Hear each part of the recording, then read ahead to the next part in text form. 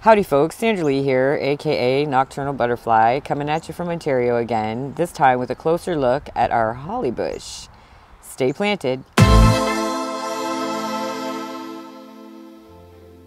Now I'm not 100% sure if this is an English holly or an American holly as they are extremely hard to tell apart. If any of you out there have an idea, please let me know, or if you know how I could tell them apart, it would be greatly appreciated. When we first moved here, this perennial evergreen was a tiny stump of a thing. Someone had cut it back to nothing trying to get rid of it. Thankfully, it survived. I have a feeling it's been here since the house was built back over 100 years ago. They can grow up to 10 feet tall and spread right on out. They are extremely toxic to eat raw, but I do know there are some medicinal benefits in the holly plant if used correctly. I've noticed on this property there are a number of beneficial plants growing. I will show you sometime, most likely when everyone starts waking up in the spring.